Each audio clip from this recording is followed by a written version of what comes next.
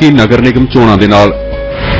ਅੰਮ੍ਰਿਤਸਰ ਨਗਰ ਨਿਗਮ 'ਚ ਕੁੱਲ 65 ਵਾਰਡ ਨੇ, ਜਿਨ੍ਹਾਂ 'ਚੋਂ 9 ਵਾਰਡ ਸੂਚੀਦਰ ਜਾਤੀਆਂ ਲਈ 2 ਪਛੜੀਆਂ ਜਾਤੀਆਂ ਲਈ ਅਤੇ 7 ਵਾਰਡ ਸੂਚੀਦਰ ਜਾਤੀਆਂ ਨਾਲ ਸੰਬੰਧਿਤ ਔਰਤਾਂ ਲਈ ਰਾਖਵੇਂ ਨੇ। ਜਦਕਿ ਜਨਰਲ ਵਰਗ ਦੀਆਂ ਔਰਤਾਂ ਲਈ ਵੀ 15 ਵਾਰਡ ਰਾਖਵੇਂ ਰੱਖੇ ਗਏ ਨੇ।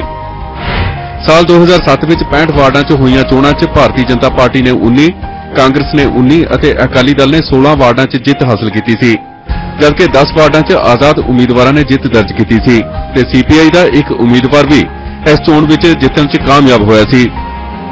ਇਸ ਵਾਰ ਵੀ ਅਕਾਲੀ ਦਲ ਅਤੇ ਭਾਰਤੀ ਜਨਤਾ ਪਾਰਟੀ ਵੱਲੋਂ ਗੱਠਜੋੜ ਕਰਕੇ ਇਹ ਚੋਣਾਂ ਲੜੀਆਂ ਜਾ ਰਹੀਆਂ ਨੇ। ਅਕਾਲੀ ਦਲ 27 ਅਤੇ ਭਾਜਪਾ ਵੱਲੋਂ 38 ਵਾਰਡਾਂ 'ਚ ਚੋਣ ਲੜੀ ਜਾ ਰਹੀ ਹੈ। ਕਾਂਗਰਸ ਪਾਰਟੀ ਵੱਲੋਂ ਸਾਰੇ 65 ਵਾਰਡਾਂ 'ਚ ਆਪਣੇ ਉਮੀਦਵਾਰਾਂ ਨੂੰ ਚੋਣ ਅਖਾੜੇ 'ਚ ਉਤਾਰਿਆ ਗਿਆ ਹੈ। ਨਗਰ ਨਿਗਮ ਚੋਣਾਂ ਦੇ ਐਲਾਨ ਦੇ ਨਾਲ ਹੀ ਸ਼ਹਿਰ 'ਚ ਰਾਜਨੀਤਿਕ ਪਾਰਟੀਆਂ ਨੇ ਆਪਣੀਆਂ ਸਰਗਰਮੀਆਂ ਤੇਜ਼ ਕਰ ਦਿੱਤੀਆਂ ਨੇ। ਟਿਕਟਾਂ ਦੀ ਵੰਡ ਤੋਂ ਬਾਅਦ ਕਾਂਗਰਸ 'ਚ ਆਮ ਵਾਂਗ ਅੰਦਰ ਖਾਤੇ ਵਿਰੋਧ ਦੀ ਝਲਕ ਮਹਿਸੂਸ ਕੀਤੀ ਜਾ ਰਹੀ ਹੈ ਜਦਕਿ ਅਕਾਲੀ ਭਾਜਪਾ ਦੇ ਖੇਮੇ 'ਚ ਅਜਿਹੀ ਕੋਈ ਗੱਲ ਅਜੇ ਤੱਕ ਦੇਖਣ ਲਈ ਨਹੀਂ ਮਿਲੀ ਸੀ। ਭਾਜਪਾ, ਅਕਾਲੀ ਦਲ ਅਤੇ ਕਾਂਗਰਸ ਵੱਲੋਂ ਆਪਣੇ ਆਪਣੇ ਜਿੱਤ ਦੇ ਦਾਅਵੇ ਕੀਤੇ ਜਾ ਰਹੇ ਨੇ। ਮੌਜੂਦਾ ਮੇਅਰ ਭਾਰਤੀ ਜਨਤਾ ਪਾਰਟੀ ਨਾਲ ਸੰਬੰਧਿਤ ਨੇ ਅਤੇ ਸੂਬੇ 'ਚ ਸਰਕਾਰ 'ਚ ਭਾਈਵਾਲ ਹੋਣ ਕਾਰਨ ਸਥਾਨਕ ਪੱਧਰ ਤੇ ਵੱਡਾ ਸਮਰਥਨ ਮਿਲਣ ਦੀ ਉਮੀਦ ਰੱਖਦੇ ਨੇ ਅੰਮ੍ਰਿਤਸਰ ਦੇ ਮੇਅਰ ਸ਼ਵੇਤ ਮਲਿਕ। ਉਹਨਾਂ ਨੇ ਸ਼ਹਿਰ ਦੇ ਵਿਕਾਸ ਲਈ ਦਿਲ ਖੋਲ ਕੇ ਗ੍ਰਾਂਟਾਂ ਖਰਚਣ ਦੀ ਗੱਲ ਕੀਤੀ ਹੈ। ਉਹਨਾਂ ਦਾ ਕਹਿਣਾ ਹੈ ਕਿ ਕਾਫੀ ਕੰਮ ਹੋ ਚੁੱਕਾ ਹੈ ਤੇ ਜਿਹੜਾ ਬਾਕੀ ਰਹਿ ਗਿਆ ਹੈ, ਉਸ ਨੂੰ ਜਲਦੀ ਹੀ ਪੂਰਾ ਕੀਤਾ ਜਾਏਗਾ। 40 ਦੇ ਕਰੀਬ ਪ੍ਰੋਜੈਕਟ ਜਿਹੜੇ ਨੇ ਅਲੱਗ-ਅਲੱਗ ਛੋਟੇ-ਛੋਟੇ ਵੱਡੇ-ਵੱਡੇ ਲੈ ਕੇ ਆਏ ਆ। ਕਾਂਗਰਸ ਰਾਜ ਦੇ ਵਿੱਚ ਕੋਈ ਪ੍ਰੋਜੈਕਟ ਨਹੀਂ ਲੱਗਾ। ਸੋ ਮੁਕਾਬਲਾ ਬਾਕੀ it's a ongoing process development ਜਿਹੜੀ ਪੰਜਾਬ ਸਰਕਾਰ ਹੈ ਉਹ ਟੈਂਡਰਿੰਗ ਕਰ ਰਹੀ ਹੈ ਸਿਟੀ ਬੱਸ ਦੀ। ਇਟ ਇਜ਼ ਆਨਗੋਇੰਗ ਸੋ ਸਾਨੂੰ ਉਹ ਦੇਖਣਾ ਚਾਹੀਦਾ ਹੈ। ਵੀ ਸ਼ੁੱਡ ਕਿ ਗਲਾਸ ਭਰਿਆ ਕਿੰਨਾ ਹੈ। 90% ਪ੍ਰੋਜੈਕਟਸ ਅਸੀਂ ਪੂਰੇ ਕਰਤੇ ਨੇ। 10% ਜਿਹੜੇ ਨੇ ਉਹ ਆਨਗੋਇੰਗ ਅੰਡਰ ਪ੍ਰੋਸੈਸ ਮੇਅਰ ਨੇ ਦੋਸ਼ ਲਾਇਆ ਕਿ ਨਗਰ ਨਿਗਮ 'ਚ ਕਾਂਗਰਸ ਪ੍ਰਧਾਨਗੀ ਵੇਲੇ ਕੋਈ ਕੰਮ ਨਹੀਂ ਹੋਇਆ। ਉਹਨਾਂ ਨੇ ਕਿਹਾ ਕਿ ਨਗਰ ਨਿਗਮ ਅਤੇ ਸਥਾਨਕ ਸੰਸਥਾਵਾਂ ਹੀ ਸੂਬਾ ਸਰਕਾਰ ਦੇ ਵਿਕਾਸ ਮਾਡਲ ਨੂੰ ਅੱਗੇ ਤੋਰਦੀਆਂ ਨੇ ਤੇ ਉਹਨਾਂ ਨੇ ਵੀ ਵਿਕਾਸ ਨੂੰ ਹੀ ਤਰਜੀਹ ਦਿੱਤੀ, ਜਿਸ ਕਾਰਨ ਅਕਾਲੀ ਭਾਜਪਾ ਸਰਕਾਰ ਮੁੜ ਸੱਤਾ ਹਾਸਲ ਕਰਦੀ ਹੈ। ਤੇ ਬੇਨਤੀ ਕਰਾਂਗਾ ਲੋਕਾਂ ਨੂੰ ਕਿ ਅਸੀਂ ਸੇਵਾ ਕੀਤੀ ਹੈ ਔਰ ਮੁੱਖ ਮੰਤਰੀ ਸਾਹਿਬ ਦੇ ਨਾਰੇ ਤੇ ਪਹਿਰਾ ਦਿੱਤਾ, ਰਾਜ ਨੇ ਹੀ ਸੇਵਾ। ਔਰ ਉਹਦੇ ਰਿਜ਼ਲਟ ਤੁਹਾਡੇ ਸਾਹਮਣੇ ਨੇ ਔਰ ਕਾਰਪੋਰੇਸ਼ਨ ਇੱਕ ਐਗਜ਼ੀਕਿਊਟਿਵ ਏਜੰਸੀ ਹੈ, ਵਿਕਾਸ ਕਰਨ ਦੀ ਏਜੰਸੀ ਹੈ। ਸਟੇਟ ਨੇ ਫੰਡਿੰਗ ਕਰਨੀ ਹੁੰਦੀ ਹੈ। ਸੋ ਕੰਮ ਹਾਲੇ ਵੀ ਚੱਲ ਰਹੇ ਨੇ। ਮੈਂ ਬੇਨਤੀ ਕਰਾਂਗਾ ਕਿ ਰਾਜਨੀਤੀ ਤੋਂ ਸਾਰੇ ਲੋਕ ਉੱਪਰ ਉੱਠ ਜਾਓਗੇ ਵਿਕਾਸ ਕੇਵਲ ਇੱਕ ਪਾਰਟੀ ਦੇ ਘਰਾਂ ਦੇ ਬਾਹਰ ਨਹੀਂ ਹੁੰਦਾ। ਵਿਕਾਸ ਤੇ ਸਾਰੇ ਲੋਕਾਂ ਦੇ ਘਰਾਂ ਦੇ ਬਾਹਰ ਹੁੰਦਾ ਦੂਜੇ ਪਾਸੇ ਕਾਂਗਰਸ ਦੇ ਸ਼ਹਿਰ 'ਚ ਸੀਨੀਅਰ ਨੇਤਾ ਰੰਜਨ ਅਗਰਵਾਲ ਮੇਅਰ ਦੇ ਵਿਕਾਸ ਦੇ ਦਾਅਵਿਆਂ ਦਾ ਖੰਡਨ ਕਰਦੇ ਨੇ ਤੇ ਕਹਿੰਦੇ ਨੇ ਕਿ ਵਿਕਾਸ ਸਿਰਫ ਕਾਗਜ਼ਾਂ 'ਚ ਹੋਇਆ ਹੈ। ਉਹਨਾਂ ਦਾ ਕਹਿਣਾ ਹੈ ਕਿ ਪੀਣ ਵਾਲੇ ਪਾਣੀ ਅਤੇ ਸੀਵਰੇਜ ਦੀ ਸਮੱਸਿਆ ਕਾਰਨ ਸ਼ਹਿਰ ਦੇ ਲੋਕਾਂ ਨੂੰ ਦਿੱਕਤਾਂ ਦਾ ਸਾਹਮਣਾ ਕਰਨਾ ਪੈ ਰਿਹਾ ਹੈ। ਸ਼ਹਿਰ ਦਾ ਵਿਕਾਸ ਮੇਅਰ ਸਾਹਿਬ ਨੇ ਕਰਾਇਆ ਲਿੰਕ ਕਿਤਾਬਾਂ ਵਿੱਚ। ਕਿਉਂਕਿ ਜਦੋਂ ਵੀ ਸ਼ਹਿਰ ਦੇ ਵਿਕਾਸ ਦੀ ਗੱਲ ਆਉਂਦੀ ਆ ਹਾਊਸ ਵਿੱਚ ਇਸ ਗੱਲ ਦਾ ਕੁਐਸਚਨ ਉੱਠਦਾ, ਉਦੋਂ ਹੀ ਮੇਅਰ ਸਾਹਿਬ ਆਪਣੀ ਕੁਰਸੀ ਛੱਡ ਕੇ ਭੱਜ ਜਾਂਦੇ ਨੇ। ਕਿਉਂਕਿ ਵਿਕਾਸ ਕਰਾਇਆ ਹੋਵੇ ਤੇ ਉਹ ਲੋਕਾਂ ਨੂੰ ਦੱਸਣ, ਲੋਕਾਂ ਨਾਲ ਬਹਿਸ ਕਰਨ। ਵਿਕਾਸ ਕਰਾਇਆ ਕਿਤਾਬਾਂ ਵਿੱਚ। ਕਦੀ ਲੋਕ ਕਹਿੰਦੇ ਆ 430 ਕਰੋੜ ਦਾ ਵਿਕਾਸ ਕਰਾਇਆ, ਔਰ ਕਦੀ ਉਹਨੂੰ 1500 ਕਰੋੜ ਰੁਪਏ ਕਰ ਦਿੰਦੇ ਆ। ਪਹਿਲਾਂ ਉਹਦੇ ਇਹ ਗੱਲ ਨੂੰ ਪੱਕਾ ਕਰਨ ਕਿ ਵਿਕਾਸ 430 ਕਰੋੜ ਰੁਪਏ ਦਾ ਕਰਾਇਆ ਜਾਂ 1500 ਕਰੋੜ ਦਾ ਕਰਾਇਆ। ਰੋਜ਼ ਕੋਈ ਨਾ ਕੋਈ ਇਲਾਕੇ 'ਚ ਪ੍ਰੋਸੈਸ ਚੱਲ ਰਿਹਾ ਹੁੰਦਾ ਹੈ ਕਿ ਕਿਤੇ ਪਾਣੀ ਪੀਣ ਨੂੰ ਸੋ- ਸਾਫ਼ ਪਾਣੀ ਨਹੀਂ ਆ ਰਿਹਾ ਔਰ ਕਿਤੇ ਸੀਵਰੇਜ ਜਾਮ ਹੋਇਆ ਦਾ ਗਲੀ 'ਚ ਪਾਣੀ ਖੜਾ ਹੋਇਆ ਦਾ ਰੰਜਨ ਅਗਰਵਾਲ ਦਾ ਕਹਿਣਾ ਹੈ ਕਿ ਬਹੁਤ ਸਾਰੇ ਪ੍ਰੋਜੈਕਟ ਅਜਿਹੇ ਨੇ ਜਿਨ੍ਹਾਂ ਨੂੰ ਕਾਂਗਰਸ ਸਰਕਾਰ ਨੇ ਪੂਰਾ ਕੀਤਾ ਸੀ ਜਿਨ੍ਹਾਂ ਦਾ ਲਾਹਾ ਅਕਾਲੀ ਭਾਜਪਾ ਵਾਲੇ ਲੈਣ ਦੀ ਕੋਸ਼ਿਸ਼ ਕਰ ਰਹੇ ਨੇ। ਉਹਨਾਂ ਨੇ ਕਿਹਾ ਕਿ ਇਸ ਵਾਰ ਅਕਾਲੀ ਭਾਜਪਾ ਵੱਲੋਂ ਵਿਕਾਸ ਦੇ ਕੀਤੇ ਜਾ ਰਹੇ ਕਥਿਤ ਦਾਅਵਿਆਂ ਖਿਲਾਫ ਕਾਂਗਰਸ ਪਾਰਟੀ ਚੋਣ ਮੈਦਾਨ 'ਚ ਉਤਰੀ ਹੈ।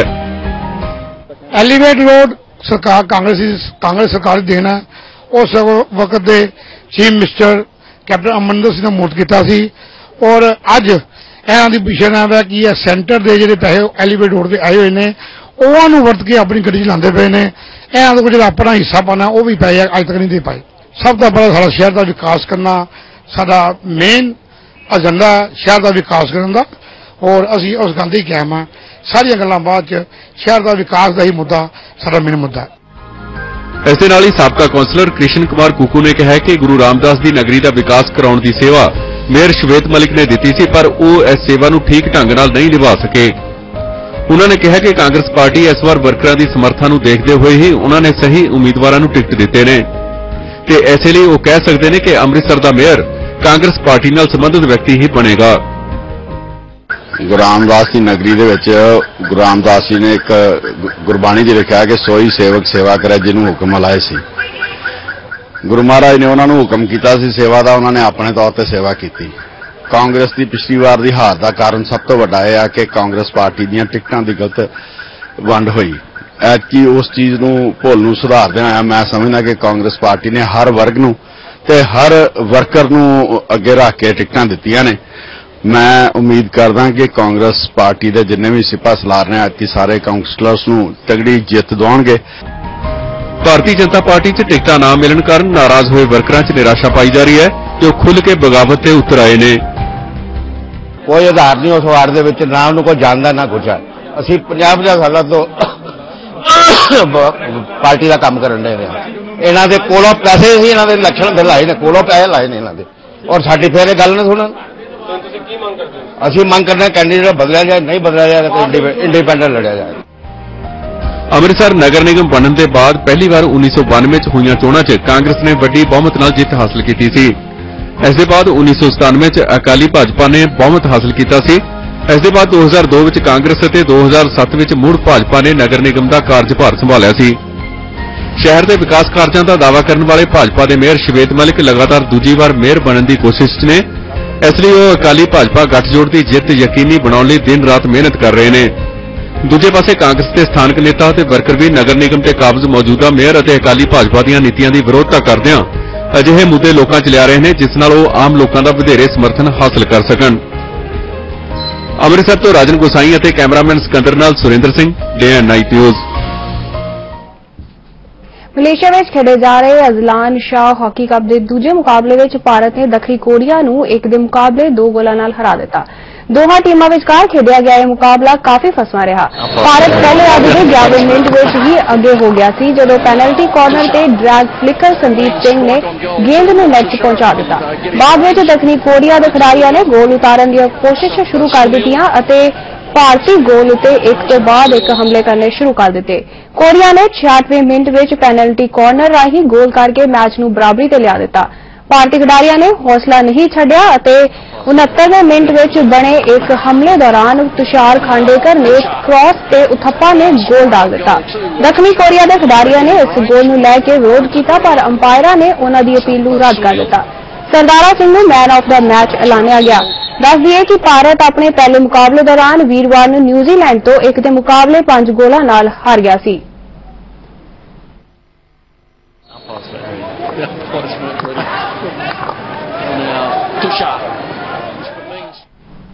ਸ਼ਹੀਦਾਂ ਦੇ ਸਰਤਾਜ ਪੰਜਵੇਂ ਪਾਤਸ਼ਾਹ ਸ੍ਰੀ ਗੁਰੂ ਅਰਜਨ ਦੇਵ ਜੀ ਦਾ 406ਵਾਂ ਸ਼ਹੀਦੀ ਦਿਹਾੜਾ ਅੱਜ ਦੁਨੀਆ ਭਰ ਵਿੱਚ ਬੜੀ ਹੀ ਸ਼ਰਧਾ ਅਤੇ ਉਤਸ਼ਾਹ ਨਾਲ ਮਨਾਇਆ ਗਿਆ।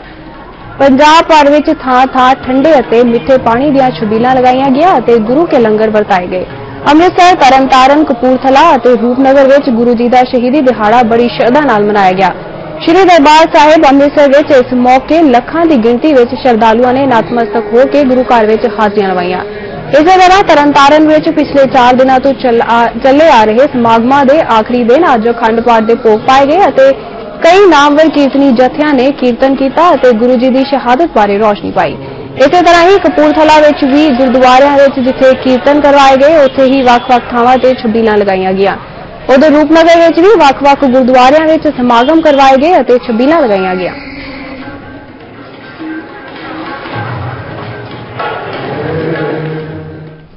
ਪ੍ਰਾਈਮ ਨਿਊਜ਼ ਵਿੱਚ ਹੁਣ ਵੇਲਾ ਹੋ ਗਿਆ, ਇੱਕ ਹੋਰ ਬ੍ਰੇਕ ਦਾ ਤੇ ਬ੍ਰੇਕ ਤੋਂ ਬਾਅਦ ਤੁਸੀਂ ਦੇਖੋਗੇ ਪ੍ਰਾਈਮ ਡਿਬੇਟ ਜਿਸ ਵਿੱਚ ਸਾਡੇ ਸਹਿਯੋਗੀ ਦਲਜੀਤ ਅਮੀ ਜੰਮੂ ਕਸ਼ਮੀਰ ਸੰਬੰਧੀ ਵਾਰਤਾਕਾਰਾਂ ਵੱਲੋਂ ਪੇਸ਼ ਕੀਤੀ ਗਈ ਰਿਪੋਰਟ ਤੇ ਚਰਚਾ ਕਰਨਗੇ।